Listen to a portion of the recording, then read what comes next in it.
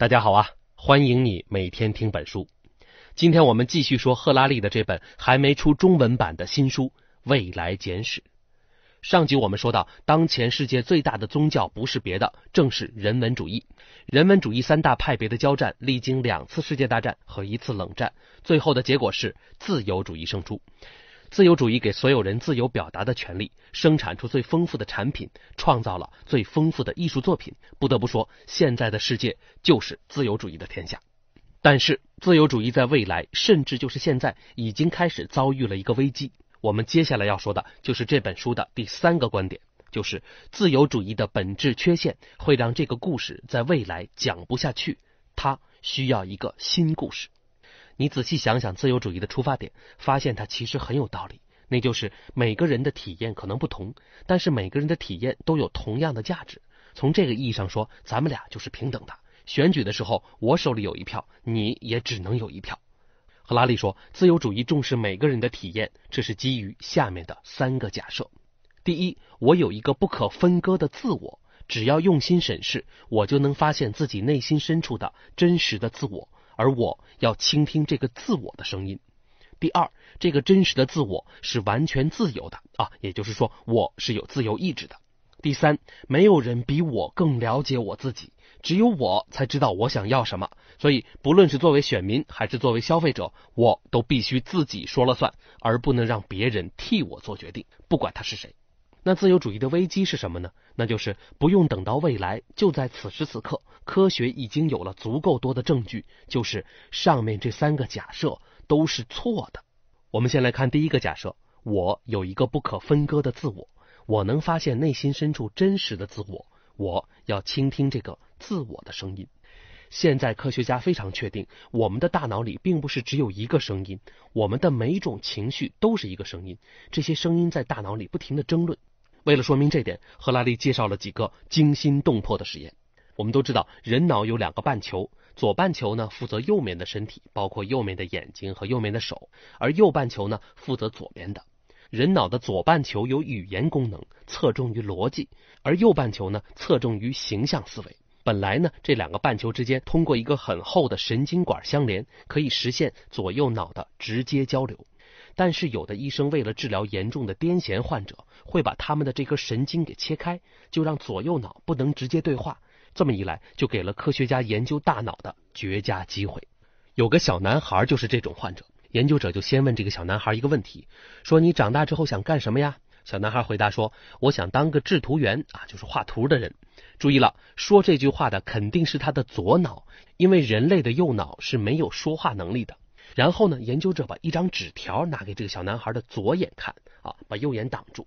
这么一来呢，这个小男孩的左脑就不知道这个纸条上写了什么，而右脑看到了。纸条上写的是同样的问题：是你长大后想干什么？右脑是不能说话的，但研究者给小男孩提供了很多写有字母的拼图块，小男孩可以通过摆这些拼图块表达自己右脑的观点。只见这个小男孩的左手开始动起来，很快就在桌面上拼出了一个单词儿“赛车手”。请注意哈，不是制图员了。所以说，这个小男孩就至少有两个自我：他的左脑想当制图员，而右脑想当赛车手。那这么一来，哪个才是这个小男孩真实的自我呢？再说个例子，还有一个类似的患者，研究者给这个患者的左眼看一张图片，图片上画的是一幅雪景啊，就是下过雪之后的景色。而给右脑呢看一个鸡爪子，而左右眼是不知道对方看了什么的。研究者就问他说：“你看到了什么呀？”回答当然是鸡爪子，因为右脑是没有说话能力的。然后研究者又找了一大堆图片，让患者从里边选出一张跟刚才看到的图片相关的图片。结果这个人右手选的图片是一只鸡，但是左手也选了一张，上边是一个铲雪用的铲子。现在关键的问题来了，研究者就问他。说你为什么还选了一个铲雪的铲子？它跟鸡爪子有什么关系啊？患者就回答说：“请注意哈，他是用左脑回答的。说，嗯，这个因为鸡可能会拉屎，而这个铲子可以用来给鸡铲屎。也就是说，左脑没有看见雪景图，所以他根本不知道为什么左手会选一个铲子。但是他为了让自己的逻辑自洽，居然现场编了一个理由。这就好比美国的中情局在海外搞了个颠覆行动，而记者到白宫提问，白宫的新闻官是不知道中情局有这个行动的，但是还是现场编造了一个说法。也许刚才这个患者真心相信他自己编出的这个说法，他根本不知道自己的大脑的各部门之间有时候是各自为政的。所以说，我们真的只有一个真实的自我吗？那如果不是的话，哪一个才是真实的自我呢？除了左脑和右脑的这种分法之外，赫拉利还提到另外一种分割自我的办法，分别是体验自我和叙事自我。什么是叙事自我呢？就是评估一段经历的时候，对这段经历的时间长短没有感觉，只在乎这段经历里感受最强烈的部分和结尾的部分。这个叫做峰值结尾规则。比如说，医生给病人做直肠镜检查，哎呀，这很痛苦吧？医生最好的办法就是在检查临近结尾的时候，尽可能给病人一个好的体验。这么一来呢，虽然过程可能更长了，而且疼的时候还是那么疼，但是病人过后对这件事儿的评价就会好很多。但是请注意，这是病人的叙事自我给出的评价，但是病人的体验自我显然并不喜欢更长的检查，所以他被出卖了。赫拉利说，我们平时的自我认同大约就是这个叙事自我。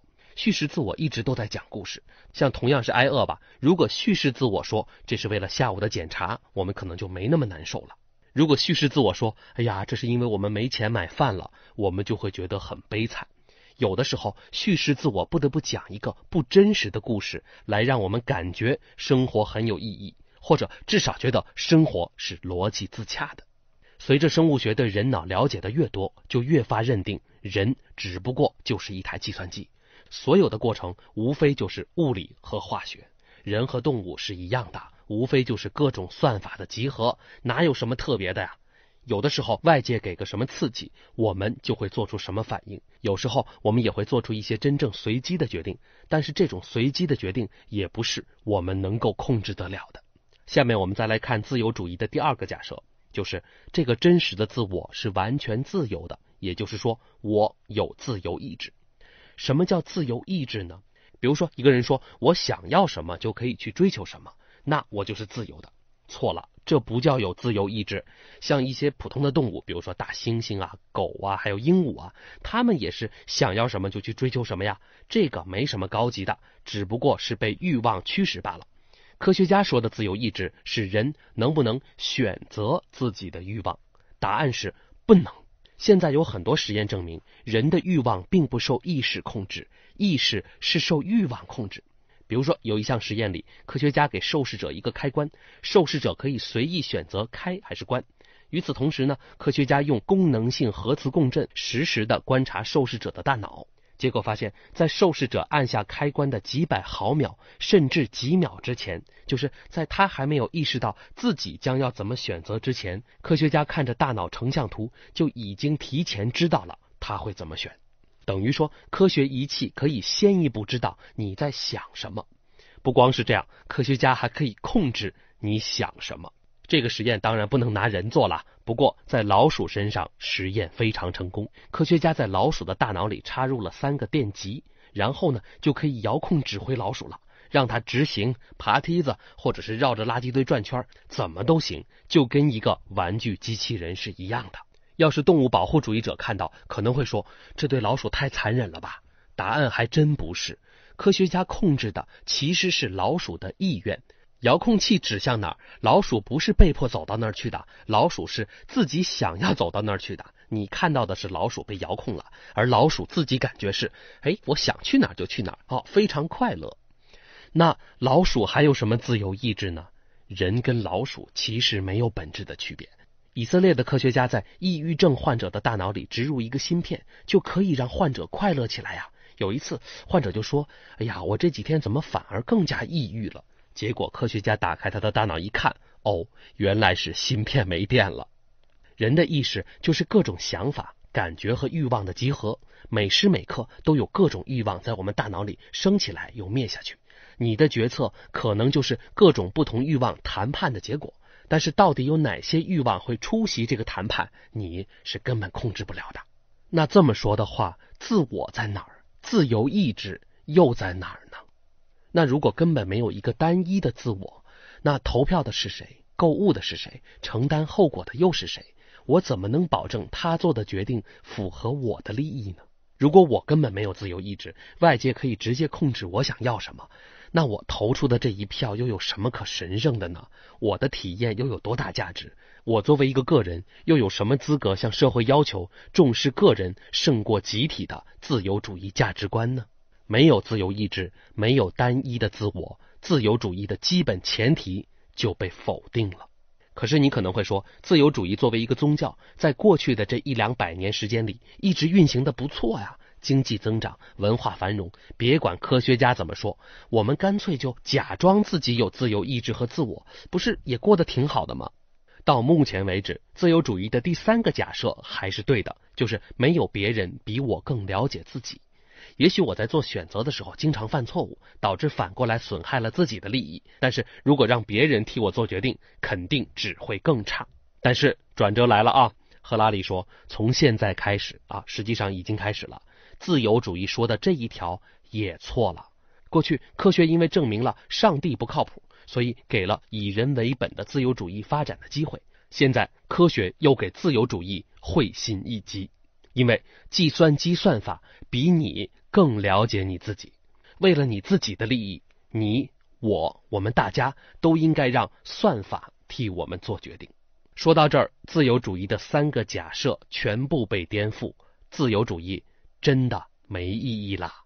真正的未来比这个更复杂。从现在看来，世界有三个趋势，对应着人的三种不同的命运。第一种，人工智能如此强大。人作为一个工作者的经济价值和军事价值都没有了，那么政治经济系统就会认为人没有价值。第二种，也许人类整体还是有价值的，但是每个人作为个体是没有价值的。第三种，也许有些个体还是有价值的，但是他们是经过了生物学升级改造的超人。这三个趋势里，哪一个的效果最快、最明显？赫拉利没有给出明确的判断。我们姑且假定，在未来相当长的时间里，三个趋势同时进行。那么，就在二十一世纪，全体人类将会被技术进步的趋势划分成三种人：无用的人、没有自主的人和神人。这三种人是不可能平等的。有可能像现在印度的种姓制度的划分，也有可能像十九世纪欧洲白人跟非洲黑人那种划分方法。到那个时候，我们回头再看看现在这个强调每个人的体验有同等价值的自由主义时代，简直就是做了一场好梦。我们先来说说无用的人，为什么自由主义是欧美发达国家的主要意识形态，而不是发展中国家的呢？因为在工业化国家，人力是非常宝贵的资源。在大工厂时代，每一个工人都是特别有用的。战场上每多一个士兵，就能让你方多一份胜算。还有，为什么要给妇女投票权？因为当时的经济生产很需要妇女，重视每一个人，不光是一个高大上的理念啦，而且也是因为那时候的经济和军事需要每一个人。那如果不需要了呢？比如说，现代战争越来越依靠高科技，将来你只需要很少的士兵，加上后方的几个专家，可能就能打仗。大部分武装力量是无人机和机器人，而在这种战争里，人可能反而是个累赘。你想一下嘛，如果是两伙无人机对峙，其中一伙呢必须请示人类的指挥官才能射击，而另外一伙可以自己就射击，那你说谁的胜算更大呀？人类士兵可能滥杀无辜、强奸或者抢劫，但是只要给机器人士兵加上一个道德算法，他们就比人类更可靠。只有人能做，而机器做不了的事儿，现在看起来只有意识。可是我们前边说了，意识也许只是一种精神污染啊。至少在生产和战争这些事儿上，意识可有可无，智能才是必须的。现代生物学告诉我们，一切生物都只不过是算法上的集合，除去意识不算，人无非就是一台计算机。过去啊，机器取代一些人的工作，而人类呢，总能发明新的工作。但赫拉利说，这可不是自然定律。现在的趋势就是，机器的智能越来越比人更适合工作。比如说吧，机器可以做股市的高频交易，人类的交易员呢，做不到那么快的反应速度。而且现在已经广泛使用机器了。再比如说，人工智能可以做普通的律师，他阅读文件、发现问题的能力不但比人类律师更快，而且更准。还有医疗诊断，IBM 的华生系统对肺癌的判断准确率达到了百分之九十，而人类医生只有百分之五十。再比如说，机器还可以做药剂师，美国人类药剂师犯错的概率是百分之一点七，这意味着每年要犯五千个处方处理错误。而在旧金山已经用上了一台机器人药剂师，他处理了两百万个处方，没有一个出错。你可能会认为，那艺术创作总是人的领域吧？加州的一个音乐学教授编辑了一个叫做 EMI 的算法，能够按照巴赫的风格作曲。观众听完之后，认为他创作的曲子比真的巴赫更像巴赫。工业革命带来了无产阶级，现在人工智能革命也会带来一个新的阶层。一个对经济和军事来说都没有用的阶层。好，这是第一种无用的人。我们再来说第二种没有自主的人。就算没有用，我们总不能认为说人活着就一点价值都没有。别忘了，我们搞人工智能的初衷不是为了取代人，而是为了为人服务。又或者说，就算很多人没有用了，至少还会有一些人，哪怕在人工智能的眼里，他们也是有价值的。但是赫拉利说，这些可能比较高级的人作为一个整体也许有价值，但是他们作为个体可能还是没有价值，因为他们也许会放弃决策权。Google 正在弄一个野心勃勃的项目，它要实时监测人体的各种指标，然后跟一个健康人的基准指标做对比，再结合你的特定基因，就可以随时随地的给你提供各种健康建议。什么时候该吃什么？什么时候该健身？什么时候该赶紧去看医生？你最好全听这个系统的。这个系统比你更了解你自己。也许你想表现一些反抗精神，说我就是不听。但是别忘了，系统比你更了解你啊！所以系统总是能在最合适的时机，用最合适你的方法劝说你去做这些事儿。最后你会发现，最符合你利益的做法就是听他指挥吧。赫拉利说：“计算机算法跟我们的关系大概分成下面三步走。第一步，算法相当于是我们身边的一个先知啊，有点像一个算命的吧。你有什么问题问他一下，但是决策权在你手里。第二步，算法相当于是我们的代理人，你告诉他一个大的方向和原则，他去执行。至于执行过程里的一些小决策，他自己就说了算了。”第三步，算法就成了我们的君主，你干脆就什么都听他的吧。微软正在研发一个叫 Cortana 的人工智能助手啊，也有人管它叫微软小娜。只要你把你的各种个人信息、计算机里的所有文档都告诉他，他就可以给你提供各种建议。赫拉利预测，未来我们会越来越依赖这种助手。比如说吧，我想去你们公司工作，你就不用看我的简历了。咱们俩直接让你的小娜和我的小娜联系，他们俩谈好了，我就可以去工作了。用这种方法找对象，说不定也很容易。所以说我最好的选择就是干脆全听助手的。比如说吧，现任总统已经干了三年，啊，干的不咋地。本来呢，我挺烦他的，但是第四年呢，这个总统为了连任，搞了很多惠民的小政策，而且还特别善于煽情演说。这时候我的叙事自我就被打动了。所以我就想，还是投他一票吧。这时候，我的助手就站出来了。他跟我说：“你某某时候和某某时候，因为这个总统的政策产生过强烈的不满，难道你忘了吗？”哎呀，我的确是忘了。但是没事啊，我的助手不会忘。所以我最好的选择不是听叙事自我的，而是听助手的。那这些助手们联网起来，就可能有进一步的行动。举个例子，比如说现在我在开车吧，A 路线堵车了。A 路线上所有司机的助手都知道现在 B 路线很空，但是这些助手相互一商量，说不能把这个消息告诉所有司机呀，要不然大家不都一窝蜂都去 B 路线了吗？那 B 路线不就也堵了吗？所以说，有些助手出于对你的好意，会故意不告诉你一些事儿，而且还有一种可能，就是既然国家、公司、天神这些虚构的东西都可以拥有实实在在的财产。那将来算法是不是也可以拥有财产啊？也许某个人工智能，他直接开个公司，让你去给他打工，那你去不去呢？你看，我们健身听助手的，购物听助手的，投票也听助手的，那我们所谓的人权还剩下什么呢？当然，也许还真有一种人不受算法控制，而是控制算法。这个就是我们要说的第三种人——神人。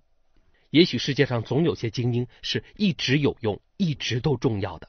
算法不能理解这些精英，也不知道他们有什么需求。这些人才是世界的主人，是站在算法系统背后做重要决策的人。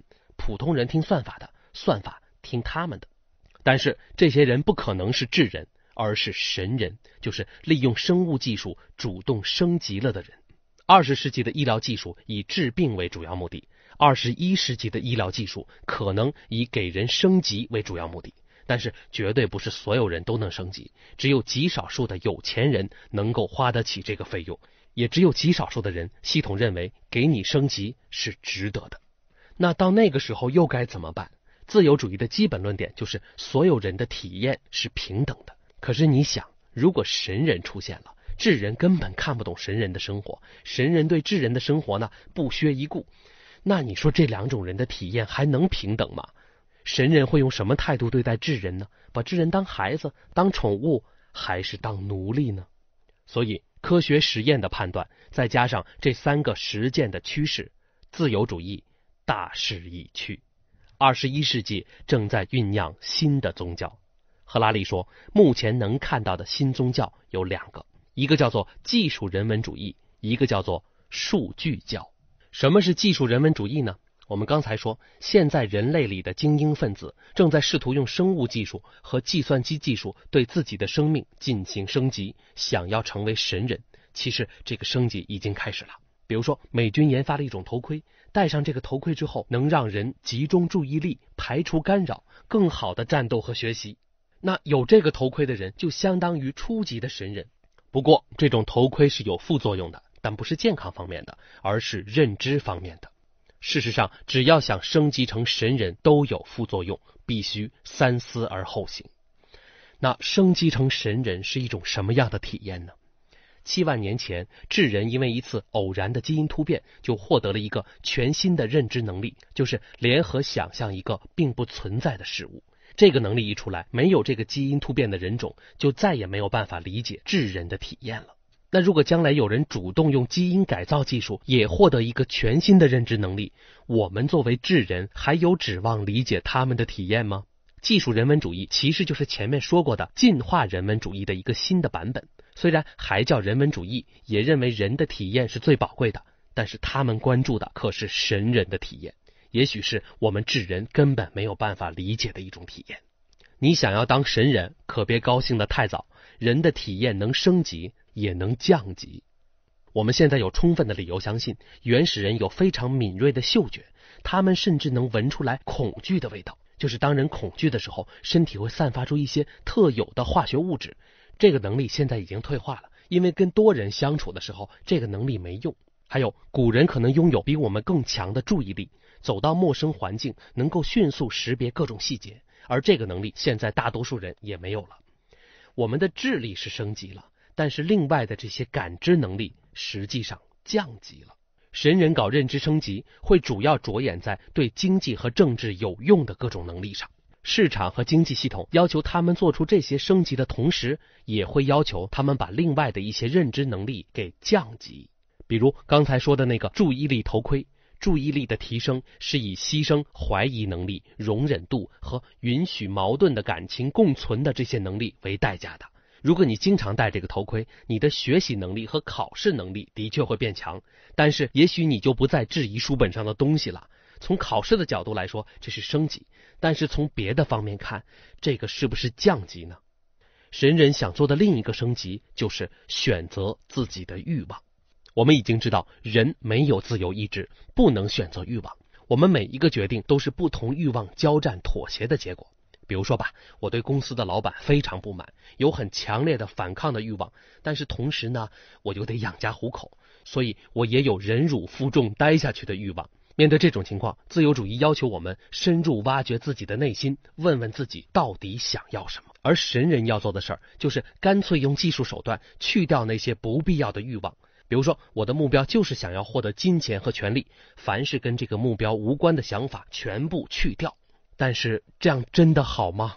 罗密欧和朱丽叶他们所在的家庭其实是相互敌对的阵营，他们原本不该相爱了，这个爱情是痛苦的爱。那他们俩是不是应该吃点什么药，让自己不爱对方呢？赫拉利说，技术人文主义者这条路走到最后将会无所适从，他们会再次面临意义危机。所以，赫拉利比较看好的是数据教。我们先来说说一个可能听起来比较新的理论。从数学角度，我们可以把一个人、一只动物、一个公司都想象成一个数据处理系统。比如说，生物体无非就是各种算法的集合。经济学无非就是把参与各方的欲望和能力的数据收集在一起，然后做个决策。这些无非都是处理数据。传统上，人试图理解这些数据，也就是想从数据里获取知识，再从知识里获得智慧。但是，现代数据主义者认为，有些东西的数据太过复杂，你理解不了，也不用去理解，你只需要让算法直接处理这些数据，从数据里发现规律，拿来用就行了。如果你把每一个人都想象成一个处理器，人和人之间的交流就是信息交流，那么整个人类社会就是一个数据处理系统，整个人类历史就是给这个系统增加效率的历史，一切都是数据处理。有了这个思想，我们就可以把一切问题当成算法问题。那么，我们只要建立一个连接所有数据的万物互联的网络，这个网络和它包含的各种算法，比任何一个人都了解这个人。能够帮助我们解决各种问题，替我们做出各种决定。到那个时候，与其信奉个人、信奉神人，还不如信奉这个网络。那将来如果我们真的有了这么一个万物之网，会怎么样呢？一开始，万物之网是为人服务的，让我们活得更健康，帮我们做出更好的决定。慢慢的，人们就会认为完善这个万物之网是最值得干的工作。你搞科研也好，当医生治病救人也好，搞艺术创作也好，不都是在为万物之网服务吗？现在有些物理学家会说下面这种话：说我人生的意义呀，就在于发现物理定律，因为物理定律是造福所有人的，比我个人的生命更重要。那将来也许会有人这么说：万物之网的存在比我自己的存在更重要。人类的所有知识，整个人类文明，乃至整个宇宙的信息。都在这个万物之网里，终有那么一天，万物之网会发展到人类无法理解的地步，算法之间相互配合和升级，算法自己产生新的算法，万物之网将会独立于人类而存在。到那个时候，万物之网就变成了世界上第一个可宝贵的东西，比人更宝贵。完善这个万物之网，想办法让万物之网更好的为人服务，就成了一份神圣的工作。万物之网是上帝，是科学家、程序员、医生、教师，所有这些为万物之网工作的人都是牧师。也许这个万物之网的存在，就给人类的存在找到了一个新的意义。这不就是新的宗教吗？这个就叫做数据教，也可以叫做数据主义。宗教得有价值观，数据主义的价值观就是信息要流动。过去我们说言论自由啊，这是人的权利；而将来我们会说信息自由，这不是人权，而是信息自己的权利。信息想要自由流动，数据主义者认为，哪怕是这个信息的生产者，也不能拥有和控制这个信息。信息自己想要更多的人看见它。宗教得有戒律。赫拉利说，数据主义的戒律有两个：第一，你要尽可能多的和媒体和信息连接。不断生产和消化信息，最大化自己的信息流。第二呢，你要把更多的东西和万物之网连接，哪怕是有些东西自己不愿意联网，你也要想办法让它连上网。那数据主义对人的体验有什么看法呢？那就是必须上网分享得了的体验才有价值。你应该把你的体验记录下来，上传而且分享，因为在数据主义者的眼里。你的经历哪怕再惊心动魄，如果万物之网不知道，那就是没有价值的。分享体验，完善万物之网这个人类知识的总和，才是你的体验的价值所在。宗教得有许诺，数据主义的许诺就是：如果你允许信息自由流动，让万物之网越来越完善，它就能造福每一个人。就算这个万物之网不能解决所有问题，它也已经有了巨大的价值。数据教也已经可以合理存在了。说到这儿，这本书的内容就讲完了。还是要记住赫拉利在一开头告诉我们的那个道理：学历史不是为了预测未来有多种可能性，神人还是万物之王来主导世界，我们不知道哪个会是必然。了解历史，恰恰是让我们能够考虑多种可能性。在全书的结尾，赫拉利邀请我们继续关注三个大问题。这三个问题涉及到全书的基本假设，也许将来科学进步会有不同的答案吧。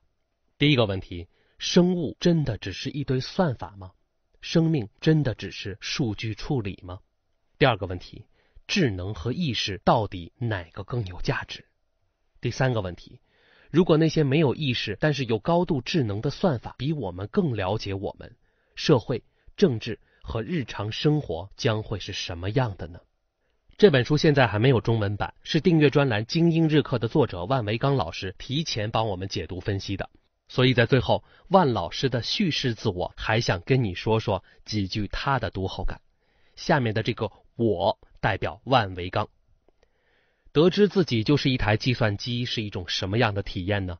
现在我们都体验到了，我们比计算机多一个主观体验，也就是意识。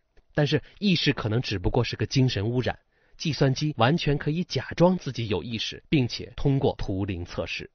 那如果意识和智能是完全独立的，那现在我们引以为豪的任何技能，在原则上将来算法都可以做到。而且算法会比我们做得更好，甚至比我们自己更了解我们。到那个时候，我们最好的选择就是听算法的。如果赫拉利说的这些都是对的，那么结论就是：人生根本没有真实的意义，一切意义都是幻想出来的。但是这又有什么不好的呢？